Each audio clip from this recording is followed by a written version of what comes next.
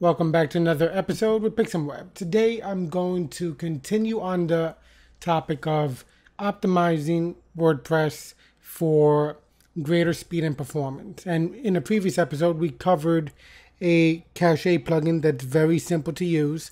It's extremely um, beneficial because it's pretty, you know, easy to set up. You just install it, activate it, click a couple of options, and you're done. And it really does improve the speed of your site.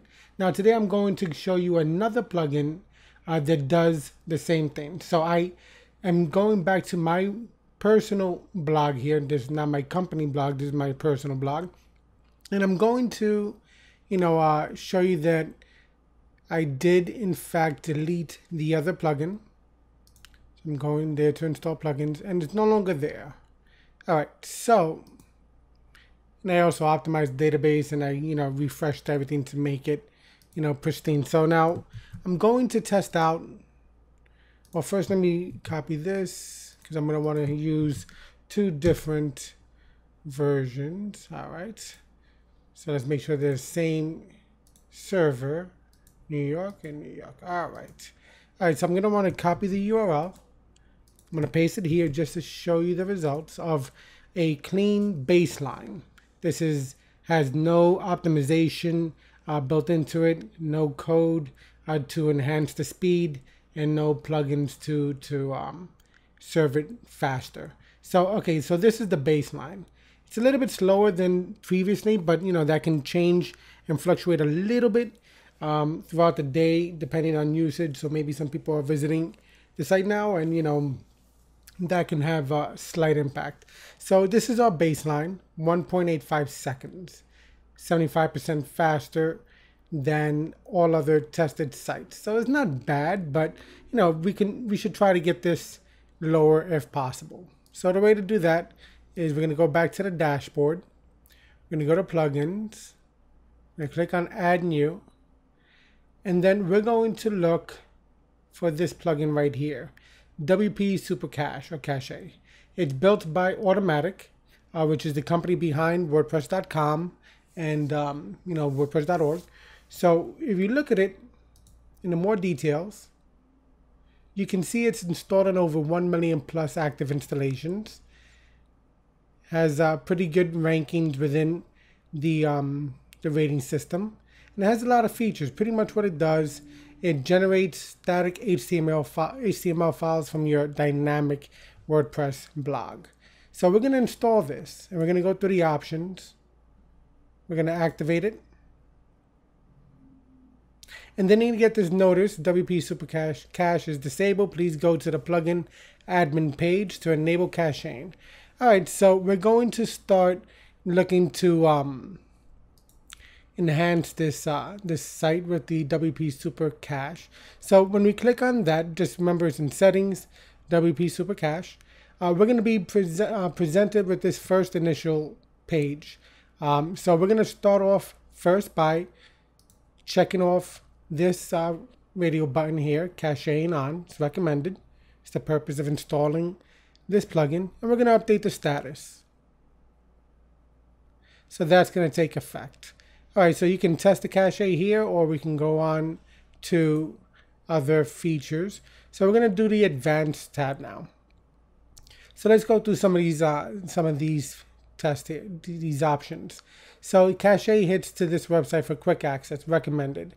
So we're going to leave that checked off. Um, we're going to leave the use PHP to serve cache files uh, checked off. This is very important because this helps to ensure that um, your website can serve you know some content that still needs to remain dynamic and things of that nature. So we're going to leave this checked. It's recommended so might as well keep it easy. And then we're going to go down to miscellaneous. This first one here compressed pages so they're served more quickly to visitors. Recommended so let's check that off. Let's see this one 304 not modified browser caching indicate when a page has not been modified since it was last requested. Let's check that. We're going to not cache pages for known users. And we're not going to cache the pages with get param with these uh, parameters with the get parameters. And we're not doing that because if you have any type of form that, you know, is going to be asking for information, it might have some get parameters. So we're just going to check this off just in case. Okay, so we're going to leave this cache rebuild, serve a super cache file to anonymous users while a new file is being generated. Recommended, leave that like that. And then we're going to continue downwards into some of the some of the other options as well. All right, so we're gonna look at we're gonna look to clear all cache files when a post or page is published. We're gonna do click on this option here, extra homepage checks, and we're gonna continue down with these options just to take a look at them. All right, everything seems to be okay. We can leave it the way it currently is set up. Okay, so we are going to update the status with these latest changes. Now, some of these other options, um, you can enable CDN support if you have a CDN. But we're not going to cover that in this episode, um, but definitely it's you know recommended if you have a global audience to use that. And then this shows you the cache contents, the amount of uh, pages that are cached, expired pages, things of that nature. Preloading, this will cache every published post and page on your site. It will create super cache static files so unknown visitors, including bots, will hit a cached page. This will probably help your Google rankings as they are using speed as a metric when judging websites now. So this is straight from there. So we're going to, in this area, uh, take a look at some of the options. Now, if you do have a very large uh, website with tens of thousands of posts, you, you might may want to double check this uh, because doing this preloading, it creates a lot of files. Um, so, you know, this can cause issues in super large websites. Uh, but if you have a medium to small size website, this is definitely a good option. So we're going to take a look at this refresh preloaded cache files every, so you can set this to whatever makes sense for your site. Um, so let's say uh, just for argument's sake, 300 uh, minutes. All right. So we're going to click or check off this area, preload mode, garbage collection only on legacy cache files. It's recommended. You can choose to preload the tags, categories, and taxonomies if you want. You could also choose to have uh, the emails sent to you when files are refreshed.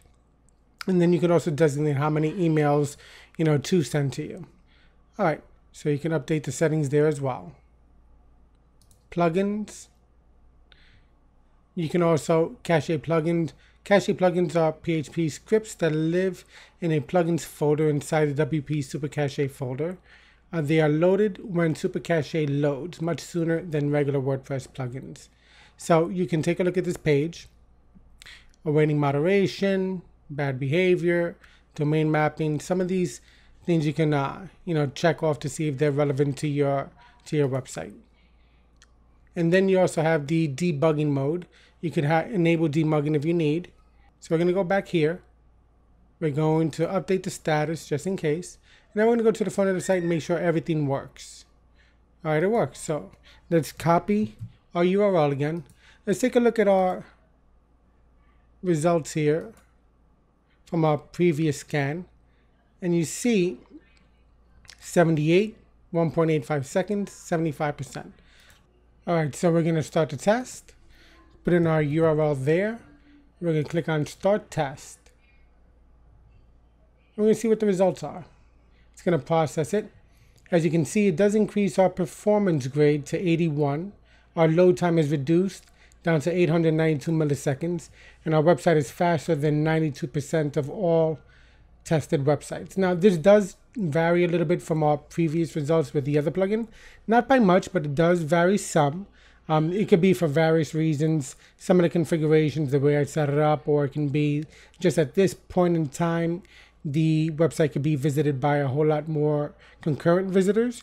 So that can impact load time. But you can see that it does uh, decrease the load time significantly. So this test was for WP Super Cache, which is a great cache plugin. It's a little bit more involved than the other plugin. This is considered like the intermediate cache plugin. Um, but you can see that it definitely does help in terms of the performance grade, uh, the load time, and the speed versus other websites being tested. Significant benefits in all aspects. So should you use this plugin? I think you should. Um, you know, WP Fastest Cache is a great plugin. You know, it's easy to use, but so is uh, WP Super Cache. And the real difference between the two is WP Super Cache is uh, does support the multi-site setup of WordPress installations. WP Fastest Cache does not support the multi multi-site setup. So that's one of the main differences. Um, so if you're running a standard installation of WordPress, then you might want to go with the WP Fastest Cache, as that might give you a little bit easier configuration of the plugin itself. Otherwise, the WP Super Cache is also a very good plugin, as you can see based on the results here. Um, the website loads just fine. Uh, it, there is no issues in terms of usage on this site, which you wouldn't generally have. I mean, you know, most of these plugins are tested. These are not new plugins that have been introduced. They are, you know, tested plugins that have been around for a significantly long time. They're, they're active on a lot of uh, WordPress installations and have proven to, you know, be durable and do exactly what it needs to do. All right, so hopefully you enjoyed this episode where we covered WP Super Cache. It's a easy to use plugin uh, with a couple more features and configuration than the other plugin I introduced you to, but definitely has its benefits, especially if you have a multi-site setup of WordPress. All right, so give us a thumbs up if you like this video and leave us your thoughts and ideas in the comment section below, and I'll take a look at that. And don't forget to subscribe because over the next few episodes, I'll continue the conversation about how to optimize your WordPress powered website for increased speed and performance. Google wants faster websites, users want faster websites, so it makes sense to give everybody what they want faster websites. All right, I hope to see you in the next episode. Take care.